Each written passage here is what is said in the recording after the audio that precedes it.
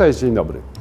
Wieszamy na naszych oddziałach naklejki, których wcześniej na nich nie było. Naklejki, na których jest napisane strefa otwarta dla każdego. Chciałem powiedzieć Wam w paru słowach, dlaczego je wieszamy, po co i co one mówią.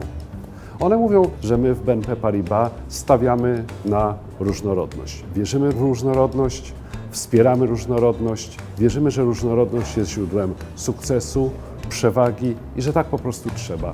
Bo wy jesteście różni, my jesteśmy różni, ludzie są różni. Różnimy się wiekiem, wykształceniem, kolorem skóry, sprawnością fizyczną, to czy mamy włosy, czy ich nie mamy, to jak się ubieramy, jak się czujemy, ale również różnimy się poglądami politycznymi czy preferencjami seksualnymi. Ludzie są różni, my jesteśmy różni.